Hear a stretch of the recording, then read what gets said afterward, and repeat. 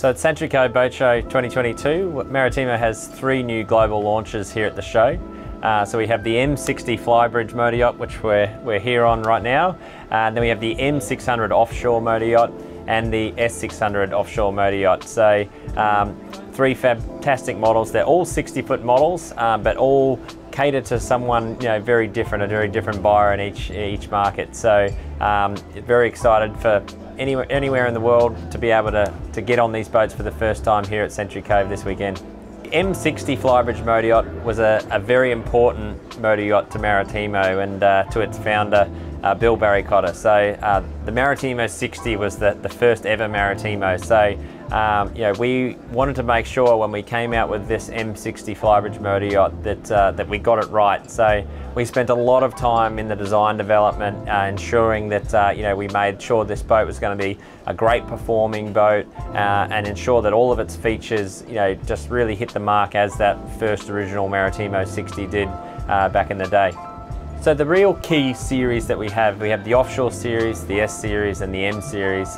Really the main features are the M series flybridge motor yachts are, are an enclosed flybridge motor yacht with internal staircase.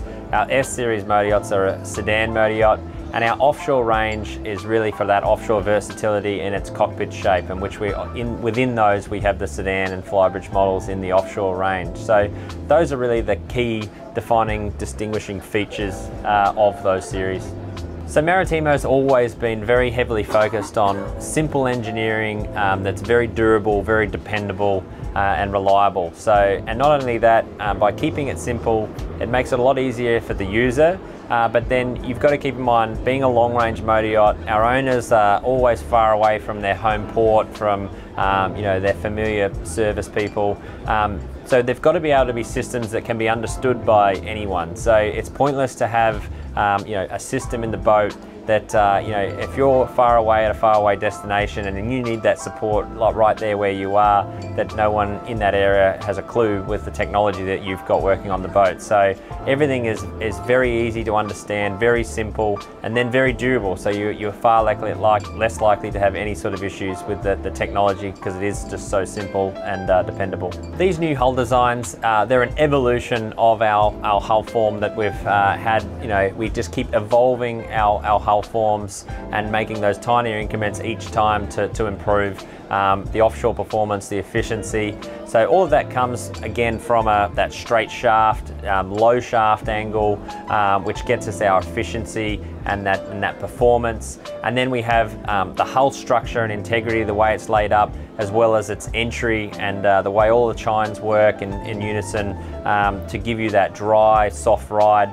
Um, but then it's the way we do, we have a world pattern on our hull structure and our hull liners. So um, it's basically a monocoque construction. So we have a, a world pattern on the way we bond our structural liners into our hull uh, and then we do that same uh, process with all of our decks and deck liners, our hardtops and hardtop liners, flybridge and flybridge liners. So the whole boat is tied together in a monocoque form.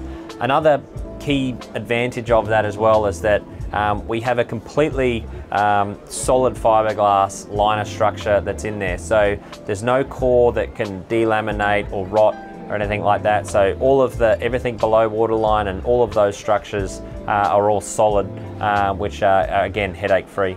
Yeah, the market the last few years has been incredibly buoyant, and if you combine that with um, what we've done uh, with our new product development and uh, and how we've hit the market, um, yeah, we're just seeing you know unprecedented demand at Maritimo, and uh, you know so we're you know have grown um, our production 25% in the last couple of years. Um, we're projected in our forecast on our schedule, on our build schedule and orders to, to grow another 25% year on year for the next three years. So um, we are building the company, we are building the team. We're not just building uh, with anyone, we're finding the right people. So we're doing this in a very cautious approach to ensure that um, you know, our standards are met and our expectations of our customers uh, you know, are always met.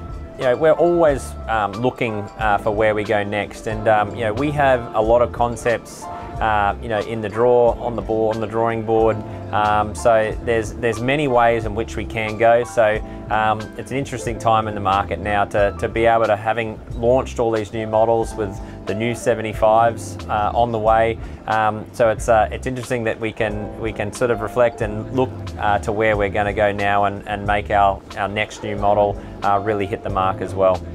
Maritimo Racing certainly interjects itself uh, into the company's culture, and then there's also technology projects that we're working on, uh, you know, in the background as well. So there'll be anything from um, uh, composite, you know, way we, we, we lay up our laminates uh, that we're testing.